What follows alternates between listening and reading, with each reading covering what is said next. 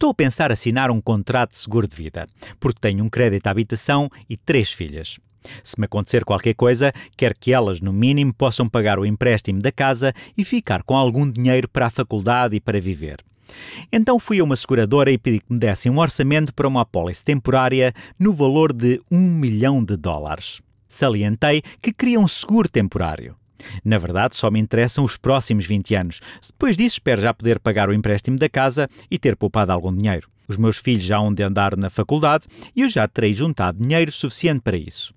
É por isso que quero um seguro de vida temporário. A outra opção é fazer um seguro de vida permanente, em que pagamos uma quantia por ano para o resto da vida. Se a qualquer momento morrer, a minha família recebe um milhão de dólares. No caso do seguro temporário, vou pagar apenas 500 dólares por ano, durante os próximos 20 anos. Se no decorrer destes 20 anos eu morrer, a minha família recebe um milhão de dólares. Ao 21º ano, terei de contratar outra apólice. E como já estarei mais velho e terei uma maior probabilidade de morrer, nessa altura provavelmente terei de pagar mais caro pelo seguro. Mas o que me importa é os próximos 20 anos. Neste vídeo quero pensar qual é, tendo em conta estes números que a seguradora me facultou, qual é para a seguradora a probabilidade de eu morrer nos próximos 20 anos.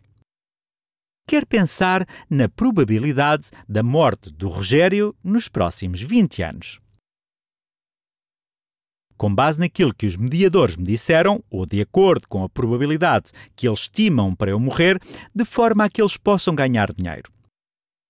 Uma forma simples de abordar esta questão é pensar no valor total do prémio que vão receber durante o período de vigência da apólice e dividir pelo valor que estou segurado. Vão receber 500 dólares vezes 20 anos isto é igual a 10 mil dólares ao longo do período de vigência da apólice. E entretanto eu fico segurado em 1 milhão de dólares.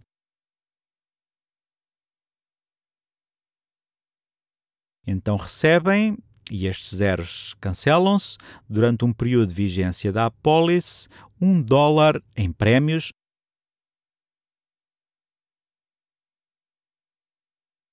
por cada 100 dólares de seguro.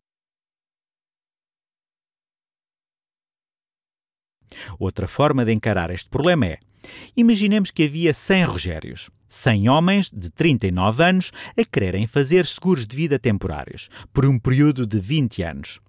E a seguradora concedia seguros a todos eles. Se multiplicarmos isto por 100, eles receberão 100 dólares em prémio. 100 dólares em prémios. Este é o caso em que há 100 Rogérios, 100 pessoas muito parecidas comigo, 100 Rogérios, receberiam 100 dólares em prémios. E a única forma de ganharem dinheiro, ou de, pelo menos, não perderem, seria de, no máximo, um destes Rogérios morrer. Então, para não perder dinheiro, se apenas um Rogério morrer, Bem, não gosto de falar sobre isto, sou tudo um pouco mórbido. Uma forma de abordar este problema é: a seguradora recebe um dólar em prémios por cada 100 dólares de seguro. Ou, se houvesse 100 Rogérios, recebiam 100 dólares em prémios e a única forma de não perderem dinheiro seria se, no máximo, um desses Rogérios morresse. O que me estão a dizer é que a única maneira de não perderem dinheiro é se a probabilidade do Rogério morrer nos próximos 20 anos for igual ou inferior a 1 em 100 e estamos a falar de uma seguradora. O objetivo é ganharem dinheiro. É provável que me deem estes números por acharem que a probabilidade de eu morrer é baixa, talvez 1 em 200 ou 1 em 300. Um valor baixo para que possam segurar mais Rogérios. Seja como for, é uma maneira muito rudimentar de analisar o problema e faz-me sentir um pouco melhor. 1 em 100 nos próximos 20 anos não está nada mal.